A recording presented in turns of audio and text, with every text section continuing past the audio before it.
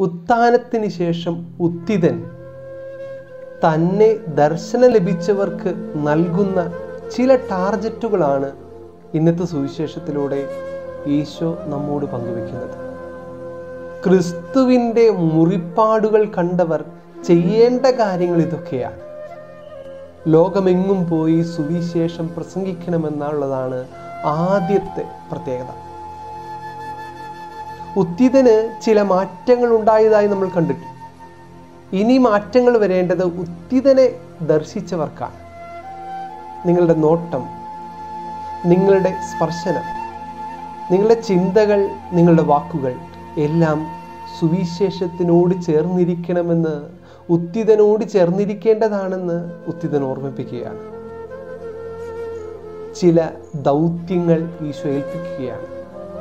ലോകമെങ്ങും പോയി ഉത്ഥാനത്തിന്റെ സദ്വാർത്ത അറിയിക്കുവാൻ ഉത്തിതൻ തന്റെ പ്രിയപ്പെട്ടവരോട് പറഞ്ഞു കൊടുക്കുകയാണ്. തന്റെ മുറിവുകൾ കണ്ട് താൻ ഉത്തിതനാണെന്ന് തിരിച്ചറിഞ്ഞവരോട് ക്രിസ്തു നൽകുന്ന ചില ടാർജറ്റുകൾ.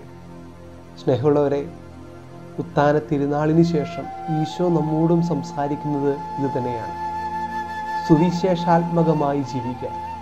നിന്റെ വാക്കുകളും നിന്റെ ചിന്തകളും നിന്റെ സ്പർശനവുമെല്ലാം ക്രിസ്തുവിനോട് സുവിശേഷത്തോട് ചേർന്ന് ജീവിക്കാനുള്ള ആഹ്വാനമാണ് ഈശോ നമുക്ക് നൽകുന്നത്.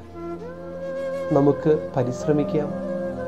ഒരു സുവിശേഷത്തിന്റെ ജീവിതം നയിക്കാൻ തനിക്ക് ചുറ്റും മുൻപുള്ളവർക്കൊക്കെ നമ്മുടെ ജീവിതം വഴി ഒരു സുവിശേഷത്തിന്റെ ദർശനം കൊടുക്കാനായിട്ട് നമുക്കൊന്ന് പരിശ്രമിക്കാം.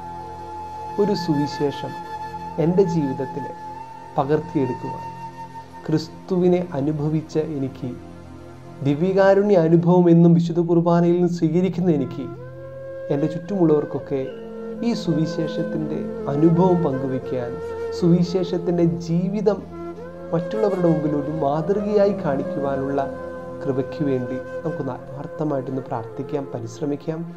ദൈവം സമൃദ്ധമായി അനുഗ്രഹിക്കട്ടെ.